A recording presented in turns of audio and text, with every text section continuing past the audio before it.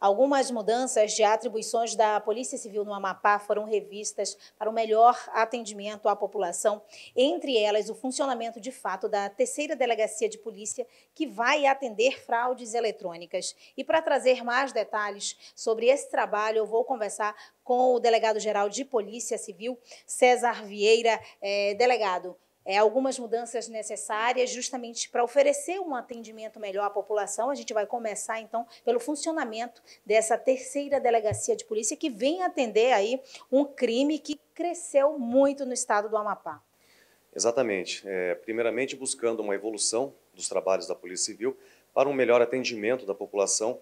Sabemos que é uma demanda muito grande, ela vem realmente trazendo um prejuízo enorme à sociedade. São crimes que demandam uma investigação muito complexa e específica, realmente assim voltada à internet, ao mundo virtual. É, essa unidade policial hoje, ela passa a ter essa atribuição, a investigação desses crimes, da autoria e materialidade, né, das fraudes eletrônicas. A população ela vai passar a ter, a, a ter uma unidade especializada da Polícia Civil no estado do Amapá para buscar realmente esse tipo de apuração, fazendo frente a essa demanda que tem causado realmente um transtorno muito grande. São estelionatos praticados. Sim, são os estelionatos né, praticados, o golpe do Pix, é, pelo é, e-mail, é, através da, das redes sociais, né, que causa realmente assim, um prejuízo muito grande.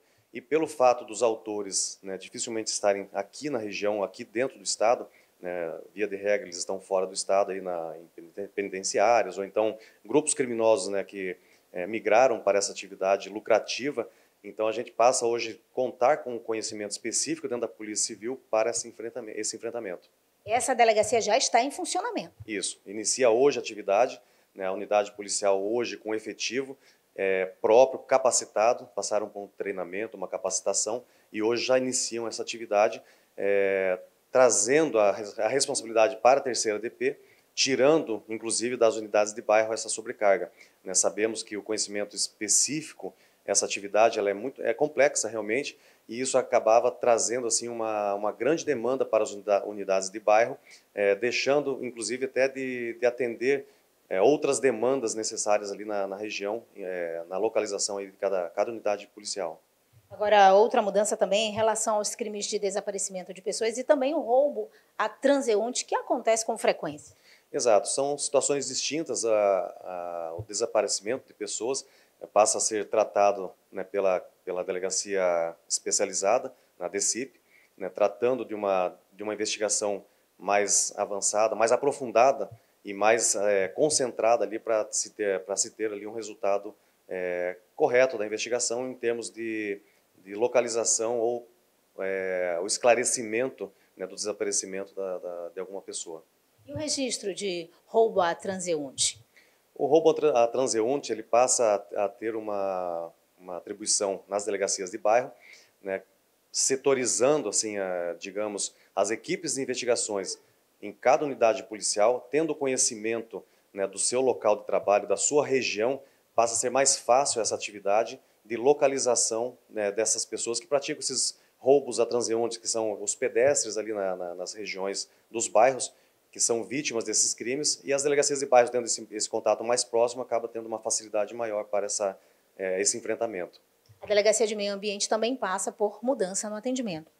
Exato. A Delegacia de Meio Ambiente, né, tendo uma, uma atribuição a nível estadual, com crimes é, realmente graves, como temos vistos aí os crimes ambientais, né, os, os incêndios na, na, na, floresta amazônica, temos os garimpos ilegais, temos situações de desmatamentos, enfim, esses crimes eles precisavam realmente de uma atenção maior e, uma sobre, e pela sobrecarga que se tinha na delegacia especializada, é, não se tinha esse foco né, de investigação. E hoje já passa né, com, essa, a, com, essa, a, com esse avanço nas atribuições das unidades.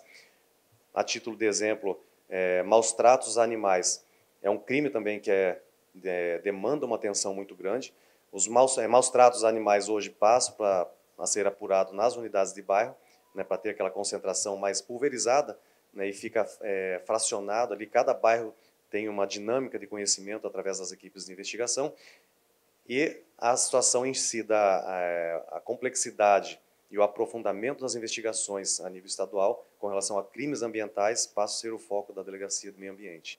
Então, delegado, a ideia é fortalecer o atendimento de roubo a transeuntes e também maus tratos a animais nas delegacias de bairro da capital. Exato, justamente pelo contato mais próximo das equipes de investigação, né, sabendo que nós temos pessoas, temos é, um efetivo capacitado nas delegacias de bairro, né, com equipes realmente dispostas a, a, fazer esse enfrentamento, esse atendimento à população, e quem ganha realmente é a sociedade amapaense com, essas, com essa evolução da Polícia Civil.